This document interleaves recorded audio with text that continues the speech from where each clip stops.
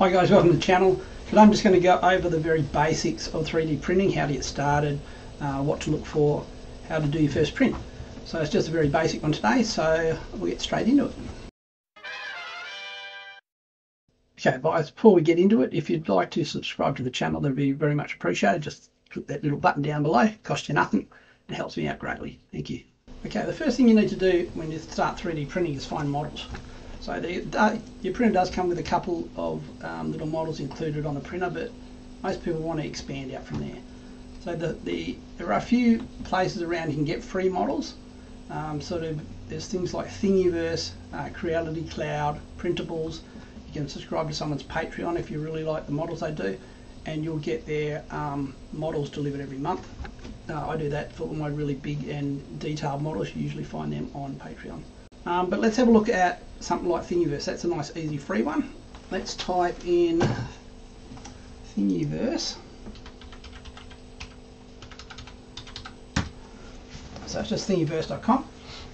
And as you can see from here, once it loads up, there's all these models on here that you can download and print out. Now they come in an STL file um, and that needs to be prepared for your printer. So let's have a look at this DeLorean. And if you go down, tells you what the licenses and stuff are here. So if you click on it, it will go into what you can do with that file. Um, and you can read through all that sort of stuff. But basically, you can share it, um, but you can't sell it. Uh, let's get back to that. Okay, so there's um, a lot of times they put instructions in here about exactly what's the best way to print it. Um, you've got some comments that people have commented on, said whether it's good or bad or, or changes they make. Other ones here, they've got remixes where people have made changes to the model and um, posted it up with some changes in it. These are people's makes and these are um, files here. So have a look at that. There's one file, you just download, down, click the download file and it downloads like anything else you have in your browser. Once it's downloaded, and they're all the same, so your printables and your um, Creality Cloud, there's heaps and heaps and heaps of them around. Basically, if you do a search up in the bar here and just go STL, you'll come up, there's Cults, there's My Mini Factory, the Thingiverse, they're all big ones. Um, but you go into them and you'll see lots and lots of different models which you can download. Okay, so once you've downloaded your file, you'll need to open up a slicer, and I've got uh, links below for uh, the main slicers. There's a few slicers around. Um, I use Creality Print because I've got mainly Creality printers and it does a better job with Creality printers. But the next big one really is Orca, which is a sort of um, expanded one from the Bambu Labs slicer.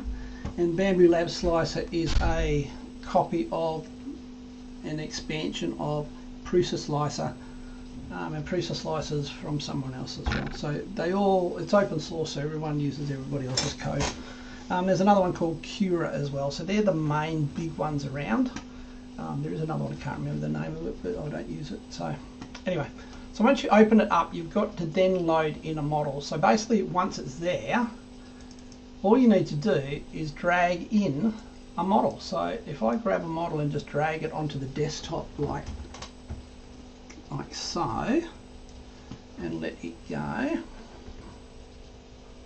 Okay, there's a little guy there and that's the model. So what the slicer does is take convert this little picture file here that you've got your 3D model file and it converts that into um, printer code so the printer can read it and basically it writes line by line by line by line by line and writes all the code about where the um, hot end needs to be and the directions it needs to go, line by line. Once you've got it in there, what you need to do, uh, in things you usually need to pick your printer. If you go into this little button here, so all of them will have printer, a printer loading somewhere, but in this one you go into here and you click on your little printer icon, you can come into the drop down box and from there they've got an add printer if you don't have it in the little list there and from the add you can choose from the list your little printer and it will load the profiles for the printer.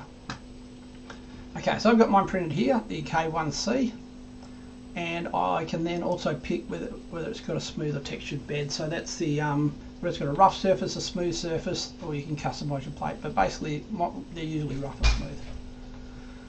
Okay, so once you pick your printer, you then got to come up and pick what sort of filament you're using.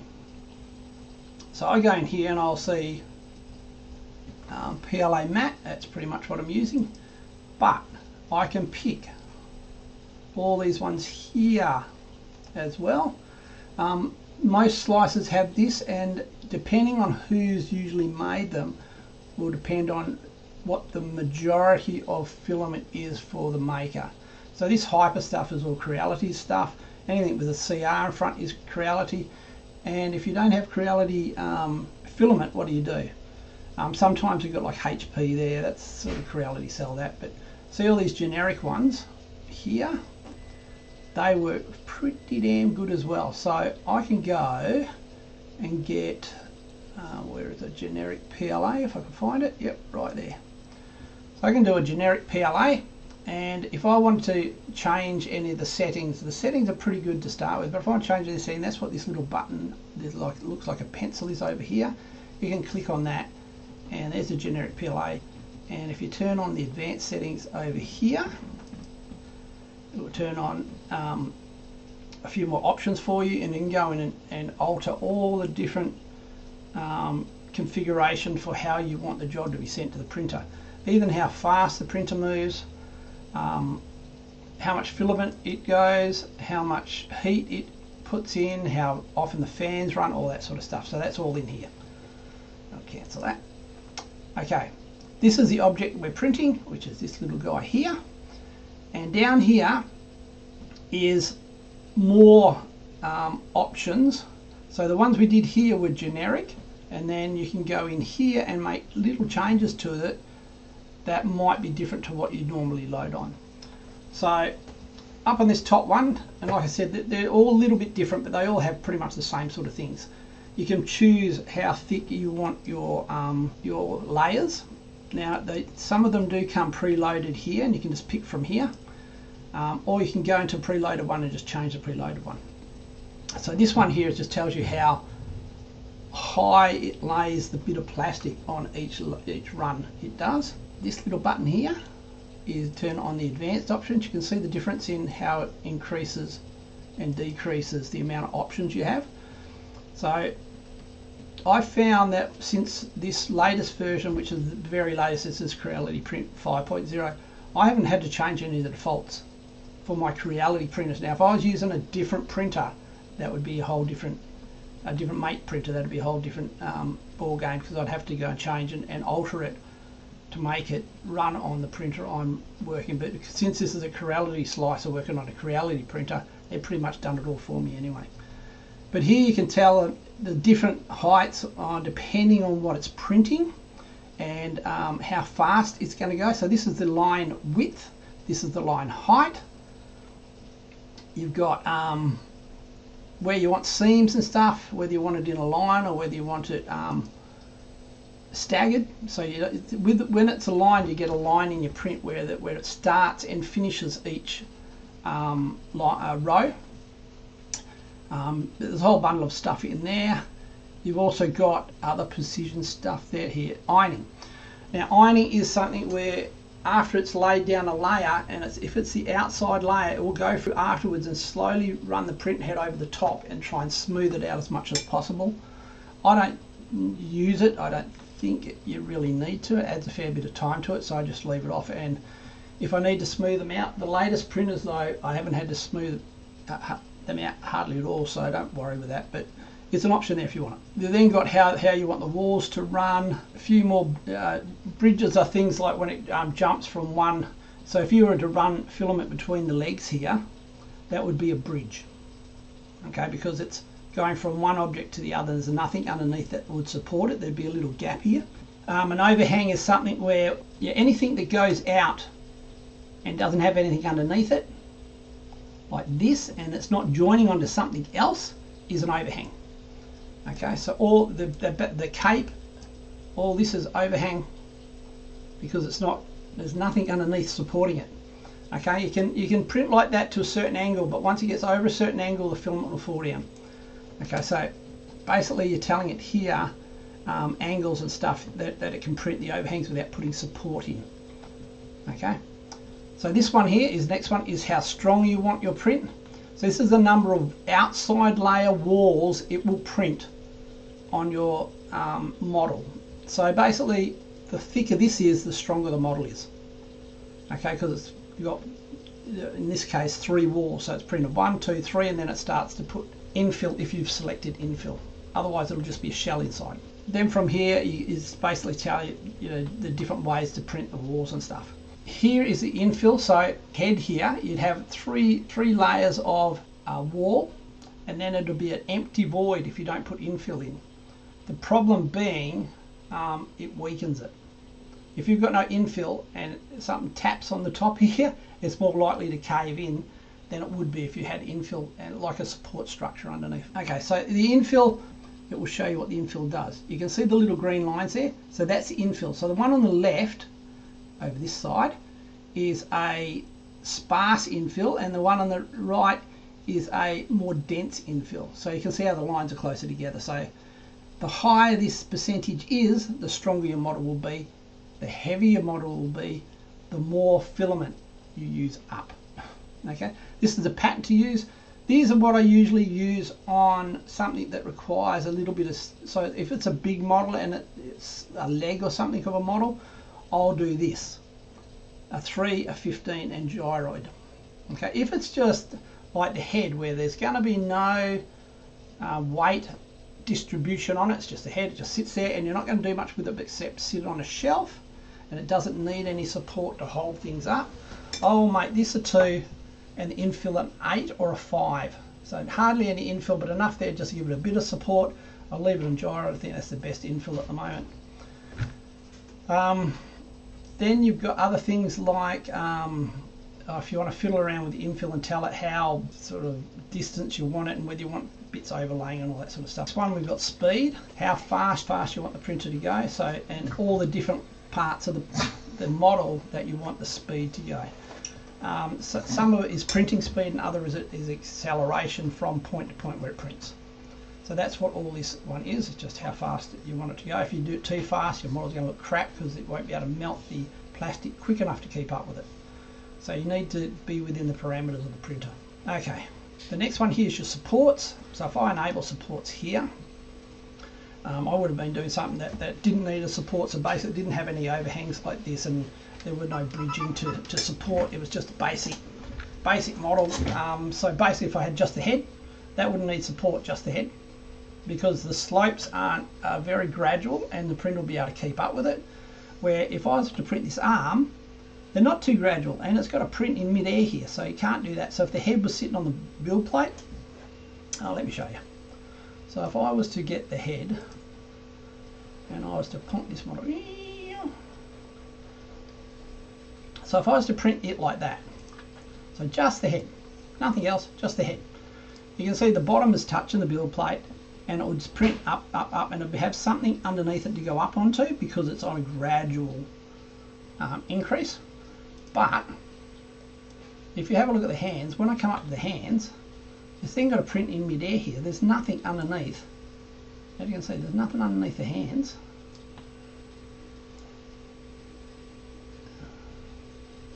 See how the hands sit and there's nothing underneath the hands?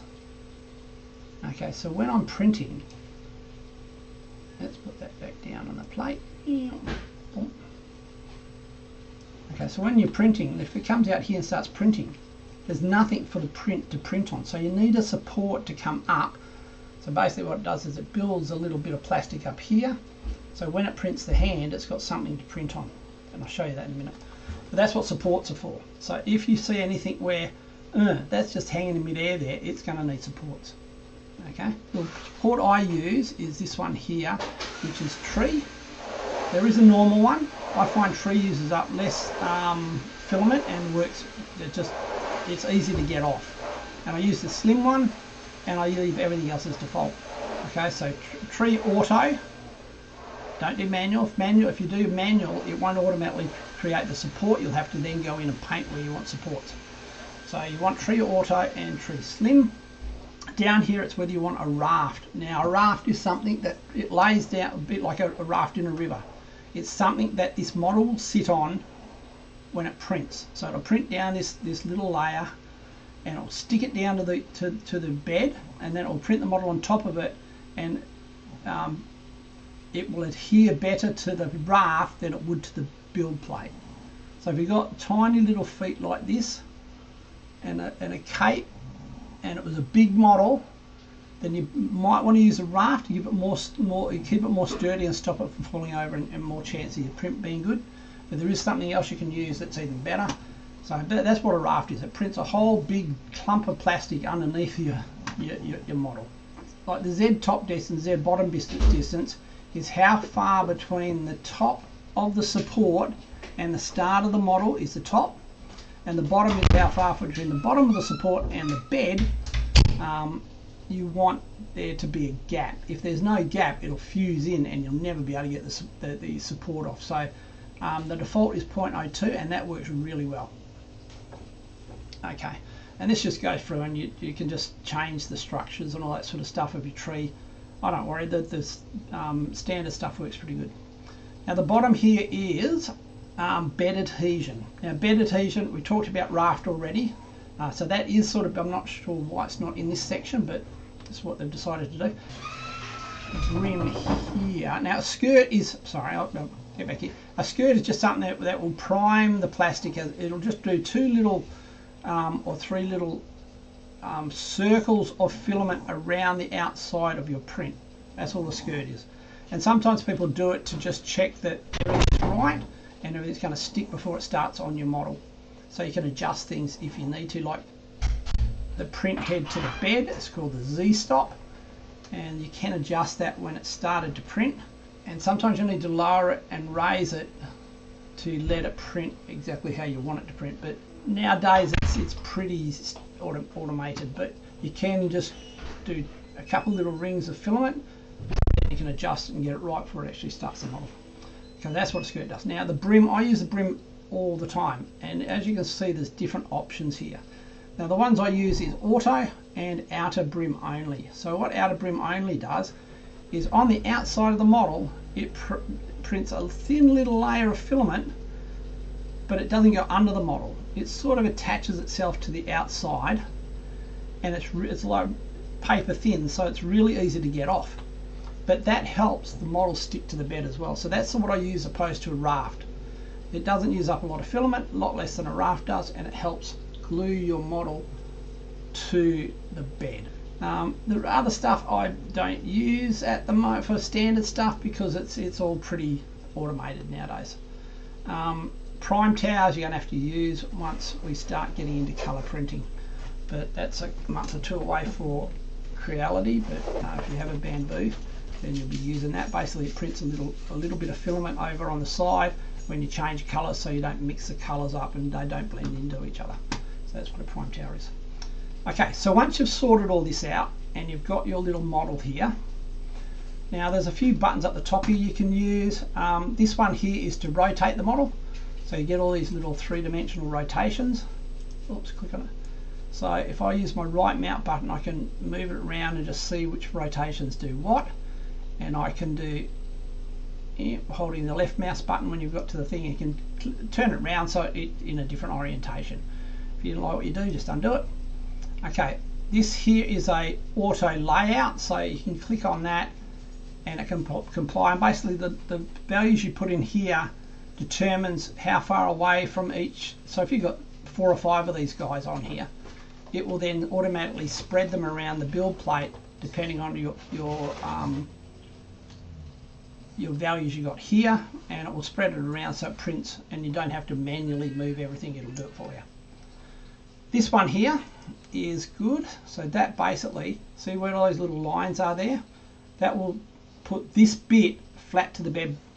So if I click on that it's going to put it to bed. If I click on the one in the back here, like that one there, that's what it will align with the bed. Okay, so if I move it around and I want the feet to be on the bottom, I'll just go to the feet and there, that aligns it to the bed. And it sits it down so it's level on the bed as well.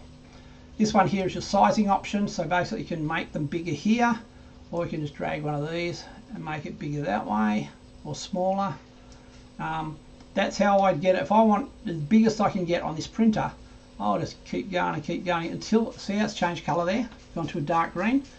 That means I've made it too big and that is cutting outside of the print bed so then I'd have to go in and do I'll make it a bit smaller here. I'd have to go in and make it a bit smaller so it's now I've gotten no not yet. I'm just yeah. Just got the cape okay the cape's off the arms are off. So everything's off sideways but you can see how the head's sitting out so I'm gonna have to pull it down in the head as well okay. Now now to fit and that's probably and you can fiddle around with these figures here and make it like uh, 254 if you want and make it a tiny bit bigger but that's how you make it fit to your build plate. Okay. Um, sometimes they're huge and they go over and you just want to shrink them down a bit just so you can print them so that's the way you do it. This one here is a mirror so basically if you do that and click on whichever way you want to mirror it whether you want to mirror it um, along the X along the Y or along the Z. Okay so I'll do the X and basically it's going to spin it round. And if you have a look at the Creality print you'll see that it's gone. See how it's mirrored around now? So if we go back the other way again see how it's so that's all it's doing it's mirroring the whole image. This one is duplicating so I want to make a clone of that so I'll just do another one of that one so now I have two on there and the two are going to be too big so I might need to shrink it down a bit with um, this one. I want to shrink that one down too. So there's the two. Now if I was to move one, now to get the move, this is the move one up the top here, and I was to put them on top of each other. See how they're sort of inside each other here. And now I use this one where I was talking about sorting before, and it automatically moves it for you. So now it's all lined up in your build plate ready to print and it's going to go by those values and move it automatically for you. Um, these two here are really for resin printing. So basically what hollow does, is it's going to hollow out your print getting ready for resin. So I'd ignore the um, hollow and the whole one. Here you can put text on. Here you can split. Now, let's do split. I'll show you what split does because I use split a fair bit. So if I grab this, this guy, like we did before, and I, oops, wrong one. If I make him bigger, like so. Ah, come back, come back.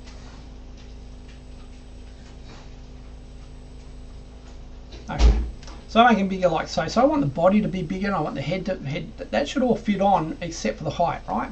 So I can come up the split here.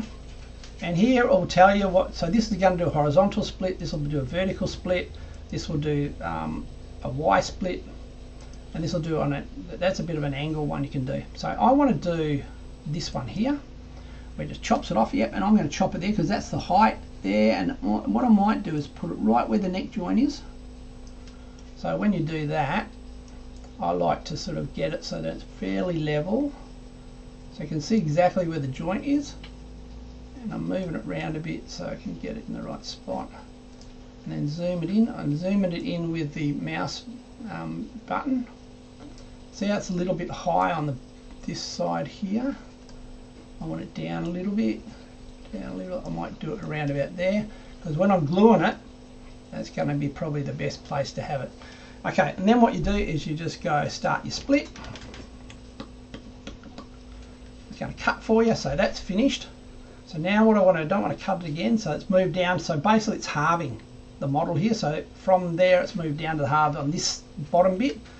So what we'll do now is we'll go to the move and I can move the head now and plump him on to print another day. Come back, come back. Okay, if you do lose the head like that, what you can do is come up to the directions here just key in a direction. So I'm just going to go 0, 0 and 0 and that is the center of the plate. so I can move that just off to the side here.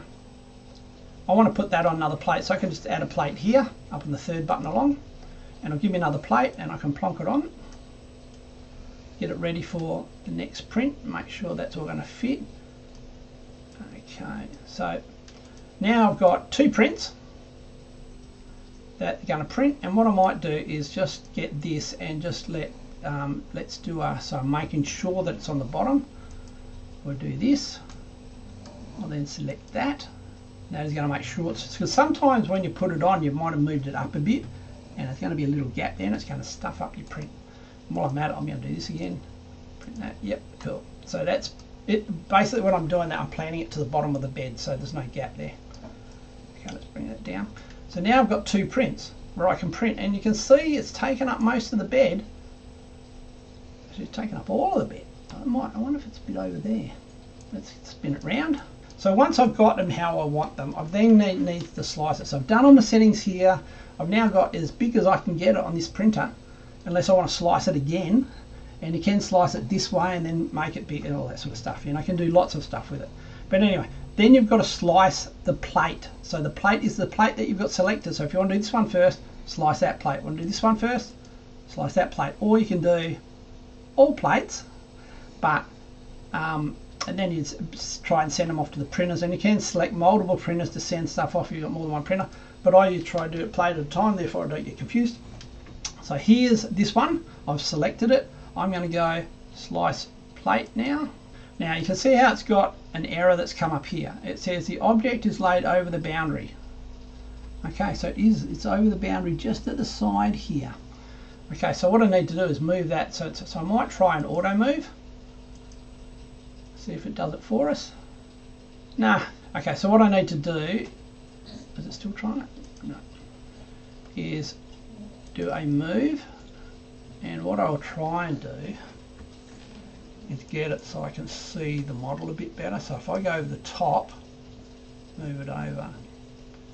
See, I've got a little bit of room over on the side here to pull it across. So if I come over this way, and if I only want to move over to the right a bit, if I click, click, click this little red arrow, it'll only move it in that direction. So I can move it a bit like that and see how the error message has gone now. Now it is fully inside the plate and no error message. Now I can, and the slice button now has become active. So I can now go slice and away to go and um, slicing is the long part where you're not doing anything. So it's going to go and slice and change all of this into printer code that the printer can read. Like I said, all the um, different slices work pretty much the same way.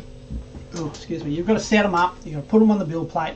They all have pretty much the same function because they all pretty much copy each other. That's why it's open source type stuff. Um, and they all have to slice. So you've got to change all your settings on here, on, no matter what slice you're doing or hopefully the default settings will work. That's like I said, that's why I use Creality Print because I use Creality printers, and the defaults are more likely going to work on a Creality printer than another slice is one that may have been built by Prusa or um, uh, Bambu Labs, all those sort of ones. They'll be they'll have their defaults will be more in line with the printer from their factory because they know how to set it. A few moments later. So once it's sliced, you get a little file like this. So this is a preview file. You can go export to local, or you can go to the Creality Cloud here and I'll upload it to the Creality Cloud and you can send it to printer wherever you want it. Okay, so that's for if you're remote and you've got your printer at home all ready to go and you need to send it, you'd send it to the cloud, then you'd log into the cloud and send it to your printer. Okay, this export to local, what that does is bring up, sorry, once it goes export to local, you can see that it's got, got it down here. And if I click on that button now, it will come up with wherever I want to put it. So I can select where I want it to go. If there was a USB, had a USB plugged into a computer, I'd pick the USB. It would then load onto the USB. You could go plug it into your printer and print from the USB there. So that's how you get it to a USB or over your network if you've got it, your printers connected up to a network. Um, it's pretty easy if you know how to do it. Once the first few times you do it, it's going to be a bit sort of. Eh. Once you've you've done it once or twice, um, it will be all easy for you. Okay, guys, I hope that helped. Um, if you haven't subscribed already, now's the time to do it. uh, and if you've made it this far, you should be hitting that like button as well. Um, if you have any comments or any um, requests of videos you might want me to do, um, leave a comment below and I'll try to get um, them done for you. Um, I'm going to do more involving repairing printers and stuff when you have problems with them. So more, more of these sort of videos will be coming, as well as I've got a Ender 3 V3 Plus coming in the next couple of weeks. Um, I just ordered one, so whenever they decide to send it to me, um, we'll be doing a have a look at one of them. If you're not already in the groups on Facebook, there are a number of really good groups that um, are specific to the sort of printer you have. So um, I'm mine are the Creality ones mainly. So I'm in the Creality groups. I'm a um, I help out with some of the um, oh, what do they call me, a group expert or something. So basically, I jump on and I just help people out. So I'll leave some links to, to some of them below. Um, the main ones are Creality Official. That's usually how they go, Creality Official. And then um, chuck on whatever printer you have. So for the um, latest one, the V3, there'll be a Creality Official Ender 3 V3. Um, there's one for the store, so Creality Official Store. That's one of the ones I'm a member of. Um, and there's you know one for the K1s and all that sort of stuff. Okay, I'm sure all the other print, printer manufacturers have something online, um, but they're not as well developed as the Creality ones are. And I've found that the Creality ones actually have staff in them that actually work for Creality and can get you know messages back or help you with repairs and all that sort of stuff. Where I haven't seen a lot of the other manufacturers with actually staff in their group, they usually rely on the public to help. Um, with the Creality also have some forums. So if you go into the Facebook forums, there's stuff there. They've also got a Discord, channel, so they're getting right into their social media, so it's really good.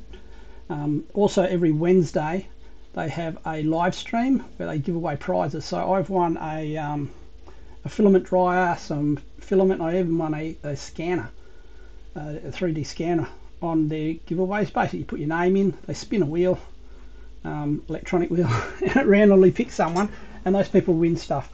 Um, so they do that usually every Wednesday on the Creality YouTube channel and Facebook channel. Um, but join me next week. Um, if you also think you're buying a printer from Creality or filament from Sunlu or filament from Creality, I do have affiliate links down in the description below. It'd be really great if you could use them. It costs you no more, but it just flings me a bit of commission for sending in that right direction and helps the channel out because everything I make from the channel goes back into the channel. not making anything, but still, if I do make some money, I'll put it back in. Um, okay, guys, well, you have a nice day, and I will see you next week.